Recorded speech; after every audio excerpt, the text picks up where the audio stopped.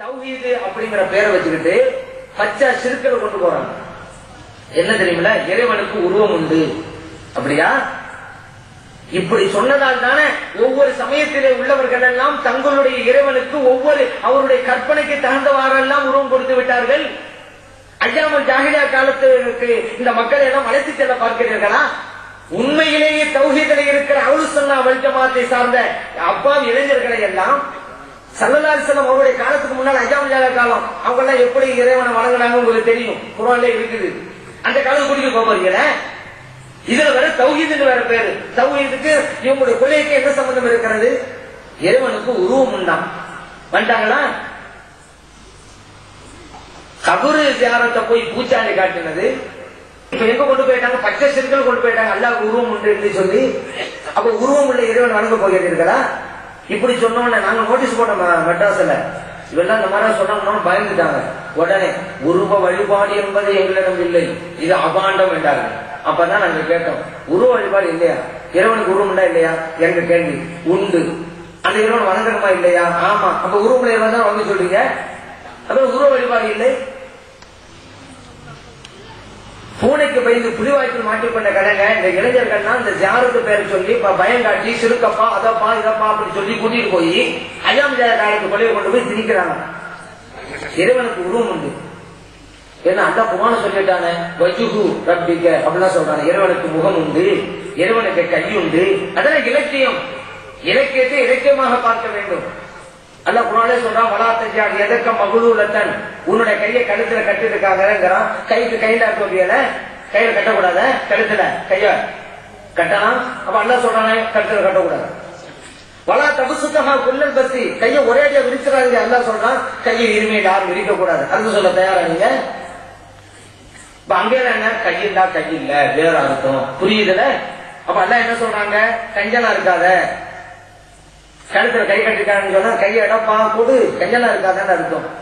கொடுக்கிற பேர்ல இருக்கிறதெல்லாம் கொடுத்து நீ தெருவில் நினைக்காத உனக்கு மனைவி மக்கள் இருக்கிறாங்கல்ல இருக்கிறவன் பார்த்து கொடு. ஒரே அடியா பிரிச்சிடாத ஏன்னா பாத்திரம் அறிந்து பிச்சை எடு. ஒரு ஆள் கேட்க வர்றான் அவன் நிலை அறிந்து கொடுக்க வேண்டும். அதுவும் பாத்திரம் அறிந்து பிச்சை எடுதான்.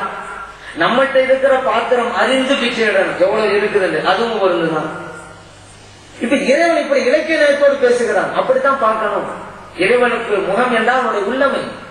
இறைவனுக்கு கை என்றால் அவனுக்கு ஆட்சி அதிகாரம். இறைவனுக்கு கண் என்றால் அவனுடைய கருணை கண்காணிப்பு. அப்படிதான் மீனிங் கொடுக்கணும். அந்த மீனிங்ல இலக்கியத்தை நம்ம அன்றாடம் பேசிக்கிட்டே இருக்கிறோம். அவருக்கு கொஞ்சம் விசாலமான கையமோ அவங்க பெரிய கையில இருக்கவன் நல்ல ஒரு தர்ம செய்யறவர் தான் இருக்கும். அவனுக்கு கொஞ்சம் வாய் நீளங்க பெரிய வரமிட்டா இல்ல. ரொம்ப பேசுறவன் இருக்கும் இப்படி பல அர்த்தம் இருக்கு. இப்ப வந்து ஹான் ரஷீது வரலாற்று படிக்கிறோம். ஒரு காலத்தில் பகதாது மாநகரம் மன்னர் ஹான் ரஷீதுடைய கையிலே இருந்ததுங்கிறோம். கையில கொஞ்சம் தூக்கிட்டு இருந்தார் பகதா மாநகரத்தை.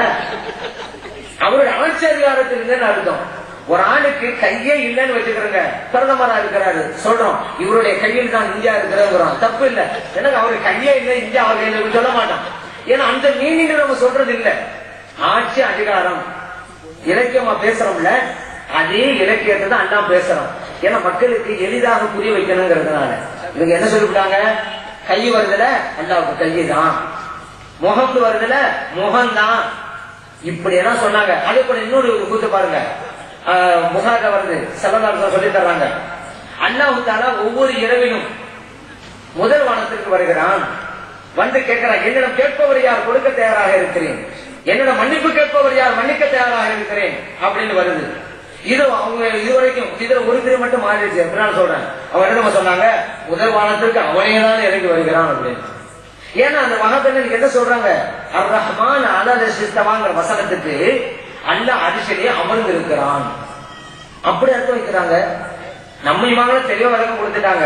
இறைவன் அரிசிலே தன்னோட அதிகாரத்தை செலுத்துகிறான். அதுதான் மீனிங் ஆனா மகாபெண் என்ன சொல்றாங்க? அல்லாவுக்கான தாலா அரிசில உட்கார்ந்துட்டு இருக்கிறான். அரிசிங்கிற சிம்மாசனத்துல இப்படி உட்கார்ந்துட்டு இருக்கிறான். இதுல கொடுமை என்ன தெரியுமா? இபுனு தேமியா. நான் ஏற்கனவே சொல்லிட்டேன். இபுனு தேமியாவுடைய கொள்கையைத்தான் இந்த வகாபிகள் அப்பாவி இளைஞர்களுக்கு மத்தியிலே இறக்குமதி செய்து கொண்டிருக்கிறார்கள். இந்த இறைவன் அரிச உட்கார்ந்து இருக்கிறான் என்று அன்னைக்கு குழப்பத்தை தோற்றுவித்தது நிபுணி தேமியா. எப்படி பல பிரிவுகள் சேர்ந்தாங்க? முஅத்தசிலா ஹவாரிஜிங்கிற கூட்டம் வந்தது மாதிரி முஜஸ்ஸிமாங்கிற ஒரு கூட்டம் அப்பொழுது இருந்தது. இன்றைக்கும் இருக்கிறது. வஹாபியத்து பேரு முஜசிமான என்ன அர்த்தம்? இறைவனுக்கு உருவம் உண்டு அவருடைய கொள்கை. இவங்கெல்லாம் அனுசரணை மாதிரி வெளியேறுவார்கள். சதம் சொல்றாங்கல்ல எழுபத்தி மூணு ஒண்ணுதான் வெற்றி பெறும். எழுபத்தி ரெண்டு போகும் போக வேண்டிய இடத்துக்கு. சொன்னாங்கல்ல முஜசிமாவெல்லாம் அதுல கட்டுப்பட்டது இறைவனுக்கு உருவம் கற்பித்தவர்கள். வசனத்தை புரிய தெரியாம புரிஞ்சு. இது இன்னைக்கு புதுசா முளைக்கல. ஏற்கனவே இருந்த அந்த முஜஸ்ஸிமா அப்படிங்கிற கூட்டத்தின் பிரதிநிதிகள் தான் இன்றைக்கு வகாபிகள் இறைவனுக்கு உருவம் என்று சொல்றாங்க. டமாஸ்கஸ் சிரியா நாட்டினுடைய தலைநகர். அதுல ஒரு பள்ளி. இப்படி தேவையா சுப்பா பிரசங்கம் பண்றாரு. அதுல விளக்கம் கொடுக்கிறாரு. இறைவன் குரான் சொல்லி இருக்கிறான் அர் ரஹ்மான் அலரசித்தவா இறைவன் அரிசியை அமர்ந்தான். எப்படி அமர்ந்தான் தெரியுமா? இப்படித்தான மம்பர் உட்கார்ந்து காமிச்சாங்க இப்படி தேவையா பாருங்க ஒவ்வொரு படியிலும் இறங்குகிறார். இறைவன் முதல் வானத்திற்கு இறங்கி வருகிறான். எப்படி தெரியுமா? இப்படித்தான். ஓர் படை இறங்கி காட்டினான் அந்த இப்படி தெரியா அன்றைக்கு அன்றைக்கு உலக மக்கள் எதிர்ப்பு தெரிவித்தார்கள்.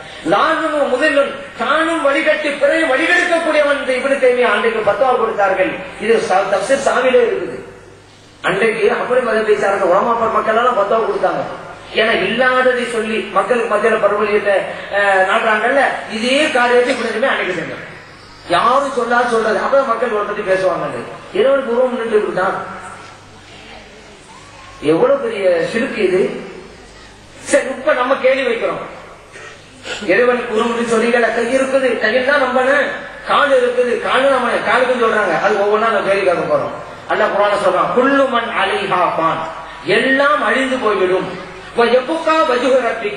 உங்கள் இறைவனுடைய முகம் மட்டும் சரிபட்டிருக்கும் நிலைத்திருக்கும். அப்படின்னு அல்ல குரான் சொல்றான்.